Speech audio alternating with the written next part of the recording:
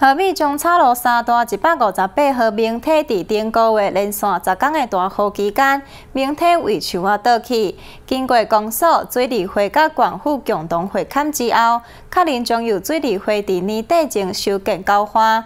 不过乡亲质疑，因为水利沟严重掏空明体路基，恐惊还未年底，明体后方已经掏空倒去。水利要来，这水利我有讲要来要来用，但是讲要到年年底。过年底因安尼落到地吼，因咧住户有咧大，这造成哩危险的，应该要起来抢修啦。中草路三段一百五十八号面体规面围墙啊倒伫咧水利沟中，加在发生的同时无造成人员伤亡。可生阿嬷讲，三十年的老厝，从来嘛无想过徛街边的围墙啊，会因为水利沟掏空地基来倒去。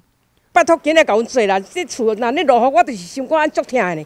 哦，迄个落我家己哭啊！你知影无？啊，你你看安尼讲，伊就是放落像遐放落，爱伫遐暗土煞甲扭落，啊扭落走，迄迄迄，你看安咱连咧厝迄厝顶迄嘛嘛嘛离连咧迄迄条条嘛离，你看离啊！你你无掀迄雨棚起来看，掀迄雨棚起来看吼，遐安安尼迄迄船离到内底厝内底呢，离到间厝内底呢。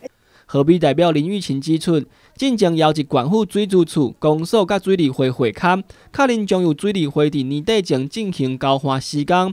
但依照目前路基掏空的情形，加上风台季节来临，乡亲根本无法度搁等到年底，所以要请有关单位加速办理作业，互乡亲上基本的居住安全。嗯，迄乡亲吼来咧报告，报告讲这条沟吼已经差不多要几个月啊，啊。土墙，咱的狗仔吼，土墙无共做吼，安尼咧到地造成伊即马连续落雨落咧到地，沙一直放咧，一直放咧。这其实人拢有咧住呢，啊下伊偷空去是足危险的。我希望水利上、水利会，也是讲有关单位吼，赶紧来甲处理，免后讲伊走卡要出来吼，就足危险的。万不利啦，发生意外，看要安怎？简单的拿白条纹布棚，可是阿嬷讲，只是希望会当减慢路基的掏空速度。因为阿嬷无位水利沟的角度看起哩，其实因徛的所在全部已经空心，布棚根本无法度阻挡路基，搁继续因为大雨来掏空。莫讲年底，恐惊即个热天，因逐工拢必须活伫惊吓之中。新中华新闻江大金何必采访报道。